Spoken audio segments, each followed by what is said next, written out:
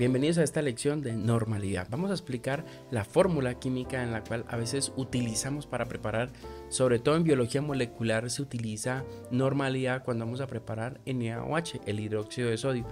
Esta normalidad son los números de equivalentes químicos sobre los litros de solución y aquí va a variar un poquito sobre la molaridad porque en molaridad recordemos que son los números de moles sobre los litros de solución. Aquí vamos a tener en cuenta los números de equivalentes químicos, los cuales están compuestos por los gramos del reactivo dividido en el peso del equivalente. Y este peso equivalente vamos a utilizar el peso molecular de la sustancia dividido en la valencia activa del soluto. Esta información de la valencia es muy importante porque va a ser la crítica para poder diferenciar entre molaridad y normalidad. Entonces, la normalidad o la concentración normal de una disolución es el número de equivalentes químicos o equivalentes gramos de soluto por litro de solución. En este caso, por ejemplo, la valencia del NaOH es 1, entonces vamos a tener aquí el peso molecular sobre la valencia, entonces vamos a tener un peso equivalente. Pero tenemos que tener en cuenta que no todos los compuestos tienen valencia 1. Esto es clave para nosotros poder hacer los cálculos de la normalidad y sacar estos